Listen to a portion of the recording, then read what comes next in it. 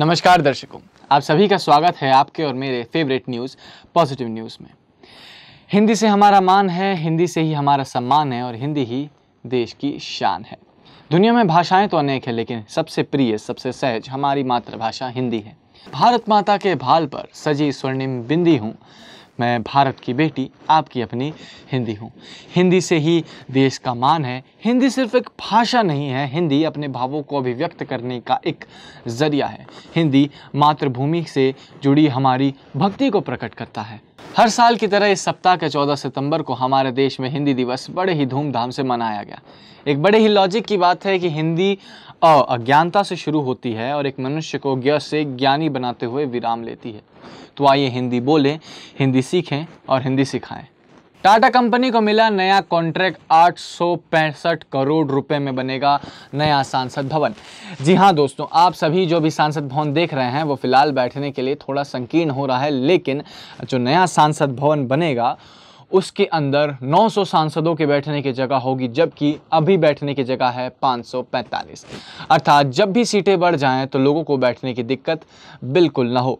ये इमारत parliament house के प्लॉट नंबर 118 पर बनाई जाएगी, जहाँ सचिवालय के लिए 10 नई इमारतें बनाई जाएँगी। राष्ट्रपति भवन, मौजूदा सांसद भवन, राष्ट्रपति लेखागृह और इंडिया गेट को जैसे का जैसा ही रखा जाएगा। नए सदन में दो सांसदों के बैठने के लिए एक सीट होगी। एक सीट की लंबाई 120 सेंटीमीटर अर्थात एक सांसद सिर्फ़ और सिर्फ़ 60 सेंटीमीटर की जगह पर बैठेगा। देश की विविधता दर्शाने के लिए सदन की एक भी खिड़की एक दूसरे से मेल नहीं खाएगी। जी हाँ दोस्तों, प्रधानमंत्री साउथ ब्लॉक का आवास उनके पीछे बनाया जाएगा, जिससे सबसे बड़ा कारण और सबसे बड़ा फ़ायदा ये होगा कि प्रधानमंत्री के आवागमन से किसी भी ट्रैफ़िक को रोका नहीं जाएगा। परमात्मा द्वारा दिया गया ये जीवन अमूल्य है और इस अमूल्य जीवन को हमें स्वस्थ रखना अति आवश्यक है। इस भागदौड़ भरी ज़िंदगी में खुद के जीवन को स्वस्थ रखने के लिए खुद का डॉक्टर खुद ही बनना पड़ता है, लेकिन सबसे बड़ा सवाल यह है कि डॉक्टर बने तो बने कैसे? तो आइए आपके शरीर का डॉक्टर आपको खुद बनाते हैं, हमारा कार्यक्रम देखते हैं, स्वस्थ रहो, मस्त रहो। डॉक्टर हरीश वैद्य जी द्वारा कुछ ऐसे घरेलू टिप्स जानते हैं जो आपके स्वास्थ्य को स्वस्थ रखेगा और मस्त रखेगा।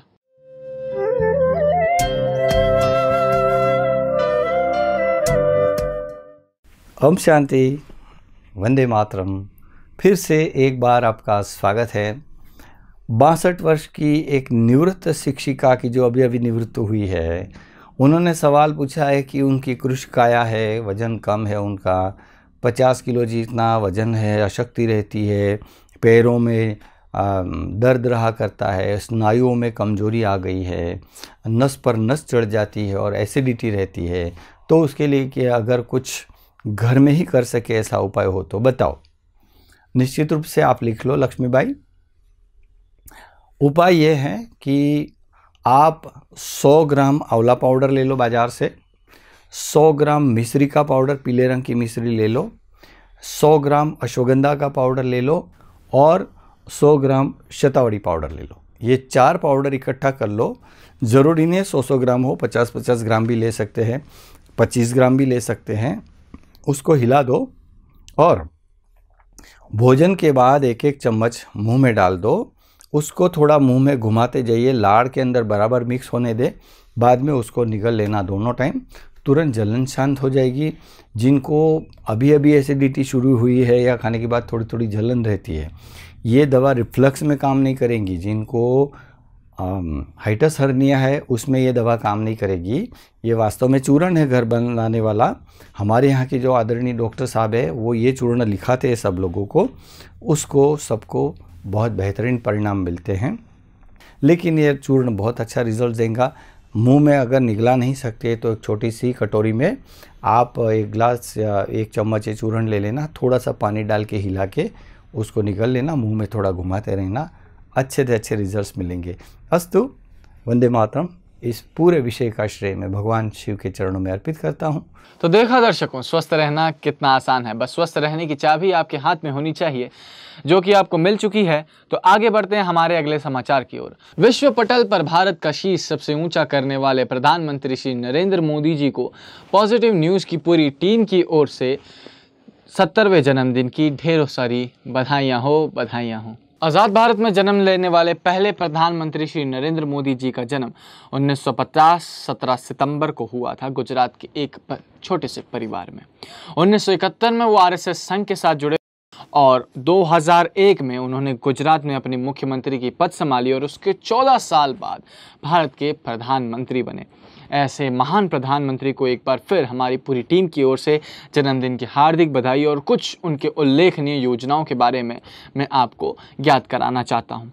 उन्होंने उज्ज्वल योजना बनवाई, किसान सम्मान निधि योजना बनवाई, आयुष्मान भारत योजना बनवाई स्वच्छ भारत अभियान बनवाया, जन धन योजना बनवाई, अटल पेंशन योजना बनवाई, सुकन्या समृद्धि योजना बनवाई। ऐसे प्रधानमंत्री को हमारी तरफ़ से ब्रह्म कुमारी की तरफ़ से जन्मदिन की हार्दिक बधाई और आप अपने पद पर ऐसे ही विख्यात होते रहें।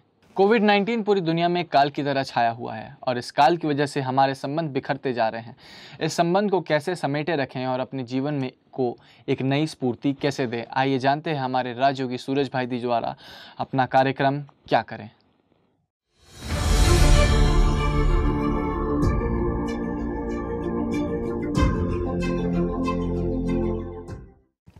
अब स्त्री पुरुष दोनों ही पढ़े लिखे हैं। दोनों ही बहुत अच्छी जॉब में थे। अब थोड़ा ढीला हो गया है। कंपनियाँ या स्कूल, कॉलेज भी क्या करें? स्टूडेंट नहीं आ रहे हैं। जो कॉलेज हरा भरा रहता था, वहाँ थोड़ा सूखापन आ गया है। तो दोनों को कठिनाई होती है। समस्याएँ भी कभी कभी तेज़ी से उभर कर सामने आ जाती हैं। तो संकल्प होता है कि कौन झुके? दोनों ही तो हाईली एजुकेटेड हैं। दोनों ने ही M A M B M Phil या पीएचडी ऐसी डिग्रियाँ ली हुई हैं। अपनी डिग्रियों का अभिमान सबको रहता है, कौन झुके? क्या करें अब घर को चलाने के लिए? उधर बच्चों के भविष्य की भी बहुत चिंता रहती है। माँ बाप दोनों को ही रहती है। लेकिन मैं आप सभी को एक बात पुनः पुनः कहूँगा कि जैसा समय हो, उसको स्वीकार करके हमें उसी में जीना सीख लेना चाहिए। भविष्य हमारे हाथ में नहीं है। वो हो सकता है अब से भी ज़्यादा सुंदर हो जाए। हो सकता है ये त्रासदियाँ, ये निगेटिविटी ये आपदाएँ, विपदाएँ, ये बैड टाइम सदा के लिए समाप्त हो जाए और हमारे सुनहरे क्षण आ जाएँ जीवन में। इसलिए वर्तमान में हमें सुखी रहना है। एक तो पास्ट की कड़वाहट को रिपीट नहीं करना है। पास्ट का वर्णन नहीं करना है। तुमने तब मुझसे ऐसे किया था। तुमने तब मुझे ऐसे कहा था। गड़े मुर्दे नहीं उखाड़ने, नहीं तो बदबू ही बदबू फैल जाएगी। इसलिए आप दोनों बुद्धिमान हैं, पर अब दोनों ही समझदार हो जाएँ। बुद्धिमानी अलग, समझदारी अलग। झुककर चलें एक दूसरे के विचारों को सम्मान देकर चलें। एक दूसरे की बात को हाँ जी करके चलें।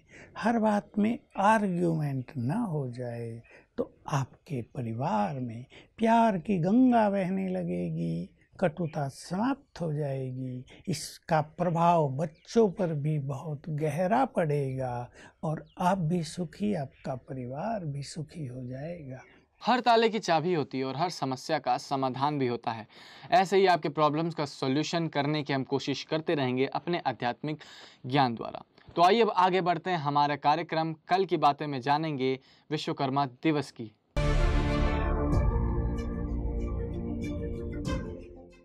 हर साल 16 सितंबर को विश्वकर्मा जयंती का आयोजन हमारे देश में पूरे ही धूमधाम से मनाया जाता है।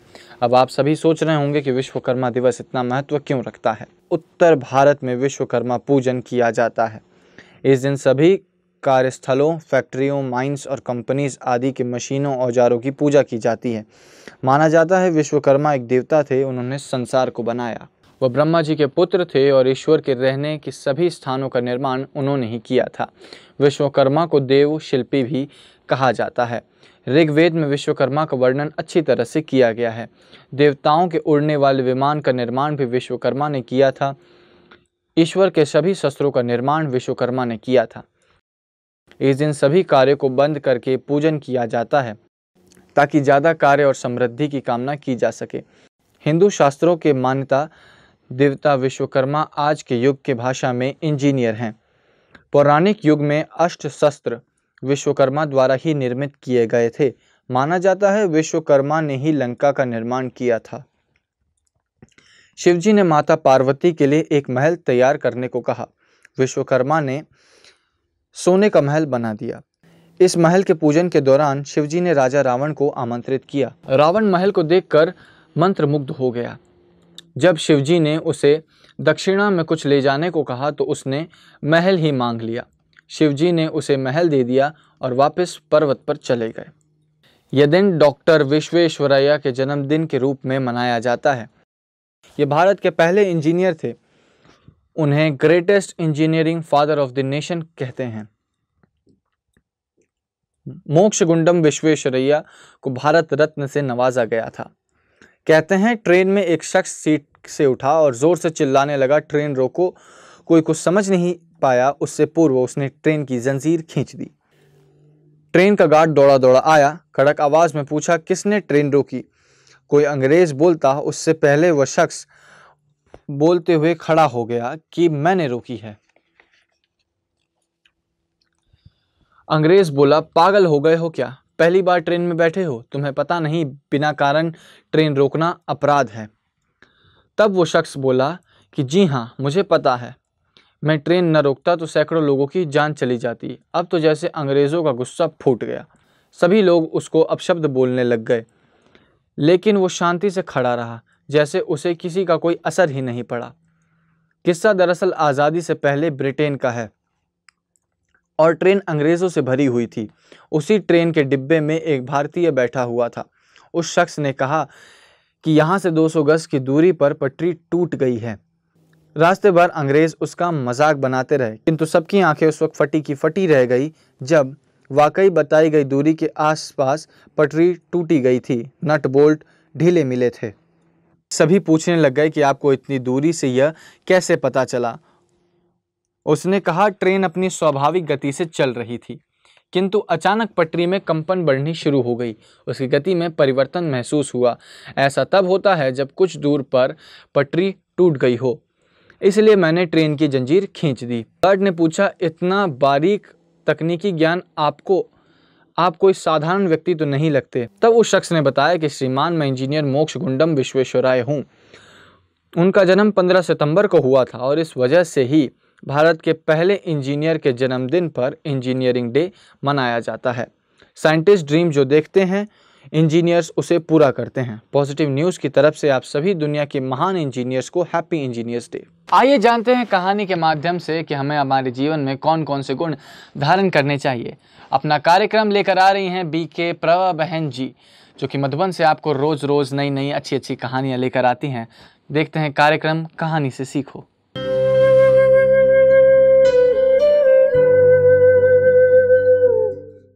आज दुनिया में हर व्यक्ति शांति चाहता है।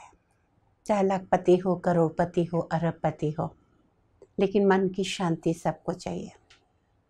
मन की शांति इंसान को क्यों नहीं मिल रही? E G O ego. एक बार नारद जी भगवान के पास पहुँचे। भगवान जल्दी जल्दी में कहीं जा रहे थे। नारद जी ने पूछा, भगवान, इतनी जल्दी कहाँ जा रहे हैं? कहा अभी तुम नहीं टोको? तुम्हें नहीं बताऊँगा। क्योंकि तुम तीनों लोक में चले जाते हो, नारायण नारायण करते। और जो काम मैं करने जा रहा हूँ, वो तुम लोगों को बता दोगे। कहा, नहीं भगवान, मैं आपका सबसे बड़ा भक्त हूँ। मैं नहीं बताऊँगा। बताइए ना आप कहाँ जा रहे हैं?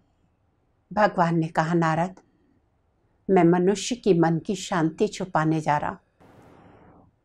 नारद ने पूछा भगवान आपको मन की शांति छुपाने की आवश्यकता क्यों हो गई? कहा, जब तक मनुष्य दुखी नहीं होता, तब तक मुझे याद ही नहीं करता। शांति के लिए याद करता है। ताकि उसकी शांति मैं छुपा दूँ, वो मुझे याद करता रहे। नारद ने मुस्कुरा के पूछा, भगवान, शांति कहाँ छुपाएँगे? क्या मैं मन की शांति ऊपर अंतरिक्ष में छुपाने जा रहा हूँ? भगवान ऐसी गलती मत कीजिए। मनुष्य मंगल पे चंद्रमा पे पहुँच गया है। अंतरिक्ष में वो पहुँच गया है। वो वहाँ से शांति खोज लेगा। भगवान ने कहा, सही? कहाँ? भगवान ने कहा, ठीक है। मैंने दूसरी जगह सोच ली है। नाराज़ जी ने कहा, भगवान कहाँ? क्या किसी को बताओगे तो नहीं? कहा, नहीं भगवान। तो कहा, मैं मनुष्य की मन की शांति पाताल लोक में छुपाने जा रहा हूँ। नारद ने कहा, भगवान, वहाँ पर भी मत छुपाइए, क्योंकि मनुष्य ने अंडरग्राउंड मार्केट, अंडरग्राउंड रेल और अंडरग्राउंड सब कुछ बना लिया है। इंसान धरती के नीचे भी पहुँच गया है। भगवान तो चिंतित हो गए। आसमान में भी पहुँच गया, पाताल में भी पहुँच गया और ज़मीन पे तो वो रहता ही है। अब कौन सी जगह बची है जहाँ मैं मन की शांति छुपाऊं, और तब भगवान ने कहा, अब मैंने जो जगह सोची है, वहाँ से मनुष्य कभी मन की शांति नहीं ढूंढेगा। नारद ने पूछा, कहाँ भगवान? कहा उसके मन में? मनुष्य सारी दुनिया को देखता है, हर इंसान को देखता है। वो क्या कर रहा है, वो क्या कर रहा है, इसमें ये अवगुण है, इसमें ये कमी है, लेकिन कभी अपने आप को नहीं देखता। जो कबीर दास ने कहा, बुरा जो देखन मैं चला, बुरा न मिलिया कोई। जो दिल खोजो आपनो मुझसो बुरो न कोई। उसके मन में छुपा देता हूँ, मनुष्य कभी झुककर ऐसे देखेगा नहीं और उसको मन की शांति मिलेगी नहीं। झुकने का मतलब क्या है? अपने ईगो को, अपने अहम को झुकाना। और जब तक हम सर झुका के नहीं देखेंगे, शांति तो मेरे गले का हार है। शांति आत्मा का स्वधर्म है और अंदर देखने के लिए सर को झुकाना होगा, अपने ईगो को समाप्त करना होगा। और तब नारद जी ने कहा, भगवान, ये एकदम सही जगह आपने ढूंढ ली। आपने सही कहा, मनुष्य कभी अपने अंदर नहीं झांकता, नहीं देखता, मुझमें क्या कमी है? और वो सही में शांति नहीं पाएगा। नारद जी ने तो किसी को नहीं बताया। लेकिन भाइयों, बहनों, आपकी ये बहन आज आपको बता रही है। अगर आप जीवन में शांति चाहते हैं, अपने अंदर झाँक कर देखें। जहाँ दुनिया से बात करते हैं, दुनिया की सैर करते हैं, कुछ पल अपने आप से बात करें। कुछ पल अपने अंदर की दुनिया में देखें। जितनी सुंदर बाहर की दुनिया है, उससे भी कई गुना सुंदर हमारे अंदर की दुनिया है। जिसे मन कहते हैं, जिसे आत्मा कहते हैं। आत्मा का स्वधर्म शांति है। जब तक आप आत्मा की स्थिति में स्थित नहीं होते, आपको शांति की अनुभूति नहीं हो सकती। और जैसे कि हमने पहले भी कहा था, आध्यात्मिकता एकमात्र साधन है सच्ची सुख और शांति का। अगर आप भी जीवन में शांति चाहते हैं, अपने ईगो को, अपने अहम को, अपने मैं को, अपने अभिमान को कहीं ना कहीं त्यागना पड़ेगा। अपने आप को उस सर्वशक्तिवान अलमैटी परमात्मा से जोड़ना होगा और जब उस परमात्मा की सकारात्मक ऊर्जा का संचार आपके अंदर होगा, आप आत्मिक स्थिति में स्थित होंगे ऑटोमेटिकली आपको परम शांति की अनुभूति होगी। और आज शांति से बड़े दुनिया में कोई चीज़ नहीं। आशा है आप ज़रूर अपने अंदर झांकेंगे, अपनी आत्मा को देखेंगे और आत्मा का सुधर्म शांति उसकी अनुभूति करेंगे। इन्हीं शब्दों के साथ नमस्कार। कहानियाँ हमें प्रेरणा देती हैं, सकारात्मक सोच रखने का बढ़ावा देती हैं और हमारे व्यक्तित्व को निखारती हैं। आज की कहानी से आपके गुणों में बदलाव अवश्य आएगा, ऐसा हम समझते हैं और हमारे कार्यक्रम देखते रहिए, बने रहिए हमारे साथ। आपको कैसा लगा हमारा ये आज का इंजीनियर्स डे स्पेशल कार्यक्रम, हमें फीडबैक देकर ज़रूर बताएँ। तब तक के लिए मैं आकाश पांडे, अग्नि न्यूज़ में मिलते हैं बी पॉजिटिव बी सेफ़